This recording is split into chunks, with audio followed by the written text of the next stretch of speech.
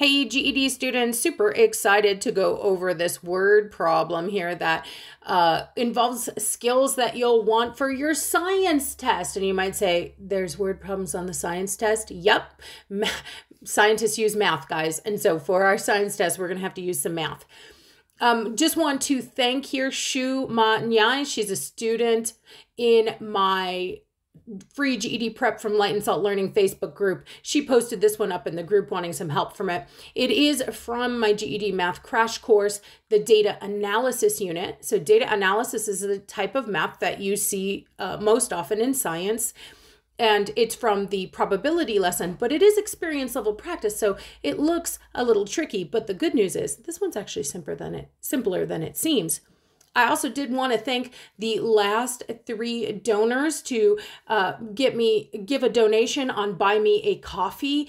Um, Debbie, Miriam, and Dina, thank you so much for the coffee. You guys are the ones who enable me to do what I do. Without generous donors like you guys, I wouldn't be able to continue making free quality resources for struggling GED students. Okay, all that being said, let's go ahead tackle this problem. Let's just read through first. And as we read through, what we're really doing is looking for what we're supposed to do. That's what I'm my first goal is always like, what am I supposed to do? Okay, let's read. John's sock drawer contains 10 pairs of black socks, 15 pairs of white socks, and 5 pairs of striped socks. Okay, that's nifty info, but it doesn't tell me what to do. John reaches into the drawer and grabs a pair of socks at random, and they are white. Okay, yeah, we're still watching John. John then reaches into the drawer and draws out another pair, and they are striped. Just a whole lot of information about John. Still no clue of what I'm supposed to do. But look here at the next sentence. What are the chances? Now they're asking me a question. Now I've got some idea what I'm supposed to be doing. I'm supposed to be finding the chances that if John reaches into the drawer and randomly draws out a third pair, they will be black. So, what are the chances that John reaches in, gets some black socks after all this? And that's what I'm finding. And um, that phrase, what are the chances? Um, another way of saying that there is what is the probability? Now, there's a couple of different ways to express probability. Um, probably usually you're going to see it expressed, especially on the GED, as either a fraction or a percent. You know, we can convert back and forth between fractions and percents that are equivalent, that are equal. And so we could give our answer as either. But I want to assure you guys, and I know you will struggle to believe me because you guys are so scared of fractions, that the easier way to go in the vast majority of probability problems is to start with the fraction. I promise, I promise you, it's so much simpler. And there's a reason for that because a fraction bar can be read as the phrase out of. Like, for example, two thirds, one way to think about two thirds, like you probably had in your elementary school classrooms, these little diagrams. If I say I have two thirds of a pizza, I'm saying I have two out of three pieces. And so that's what you want to know in probability. If I'm looking for the chances that our socks will be black, I'm looking for how many black socks there are out of total socks. And so, really easy. All I have to then do is find out how many black socks, find out how many total socks. I have my fraction and and and I've written a ratio. I mean, like it's that simple. Um, so let's go ahead then and find this information. We need to know how many black socks. We need to know how many total socks. Now we need to go back and check out all John's sock activities. Let's see. John's sock drawer contains, oh, there's my first piece of information 10 pairs of black socks. So I'll write that down 10 black. I like to keep track of it with these longer word problems because sometimes we're going to see the information change. And that's exactly what we're going to see here with John. And then we have 15 pairs of white socks. And then it says that we have, let's see, five pairs of striped socks. Now, if that was all that was going on, we would just go ahead and figure out our probability. But before we ever figure out our probability, this is John drawing out a third pair. He draws out a few other pairs first. Now, a lot of students would freak out. Oh my gosh, it's compound probability. We're finding the chances of three events happening and think this is a really complicated problem, but it's not actually. We're not finding the probability of three things happening. We're just looking at the third thing, you know, when he draws out the third pair that they're going to be black. So you say, well, what about these other two things? Well, they're events that already happened. So let's account for them in our sock drawer. I'll show you what I mean. John reaches into the drawer and grabs a pair of socks at random, and they are white. Guys, he already reached in. We're not looking for the future possibility of him doing this. He already reached in, grabbed this pair of socks, and they're white. So you know what's going to happen? His sock drawer totals that we've written down here are going to change. There aren't 15 white socks anymore. Now we have only 14. One of them's gone. John took one out. Same thing in that next sentence. You know, John then reaches into the drawer and draws out another pair, and they are striped. You know, we won't have five pairs of striped socks anymore. Now we're going to have four.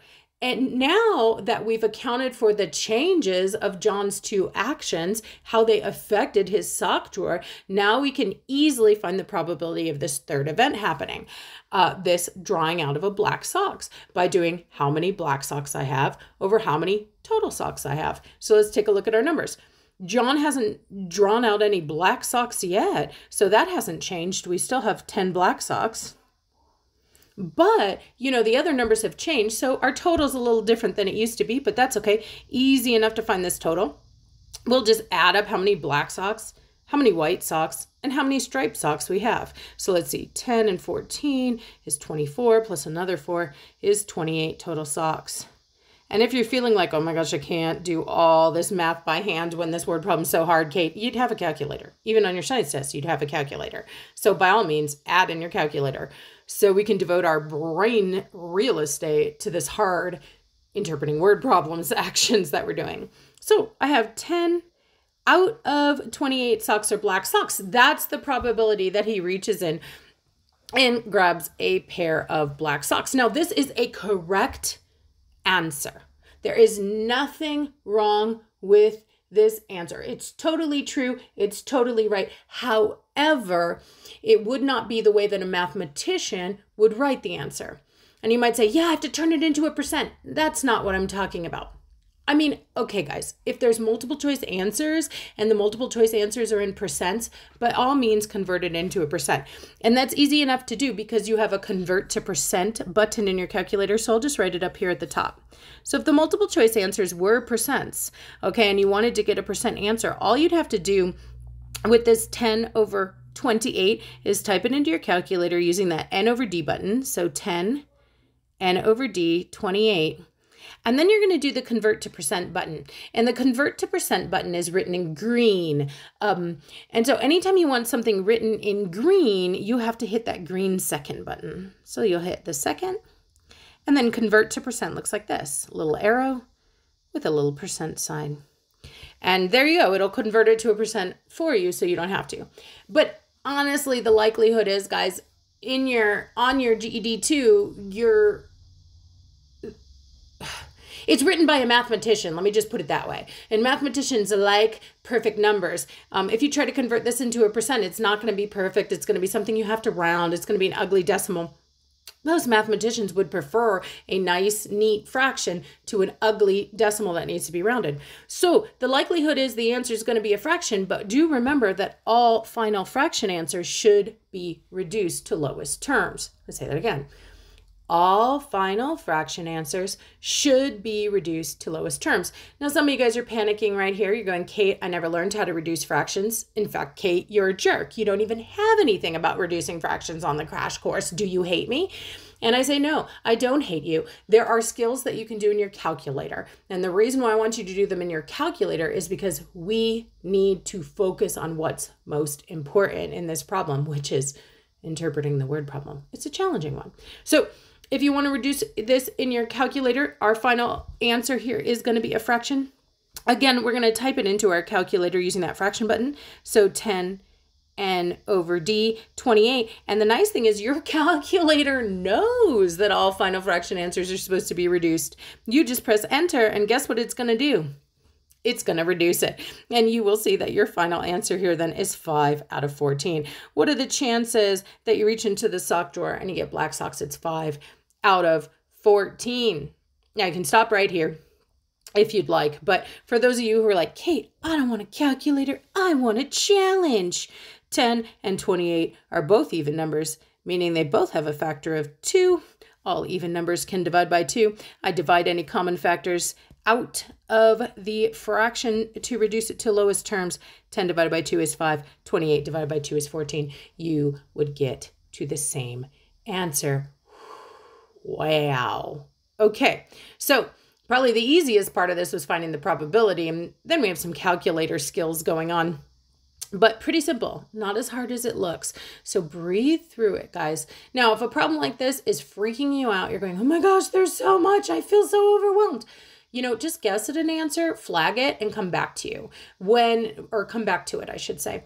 When the clock is ticking, it's really hard to think straight. But when you come back to something and you know you've answered the other questions, you're feeling pretty good, you know you got some of them right, and now you have some time to really think about this and consider it, you'll be calmer, more likely to be able to use the reasoning skills we needed in order to complete this problem. All right, so if you have any questions about this or any other GED math topic, be sure to go ahead, drop it in the comments. I'll do my best to answer it. You might make my next vid.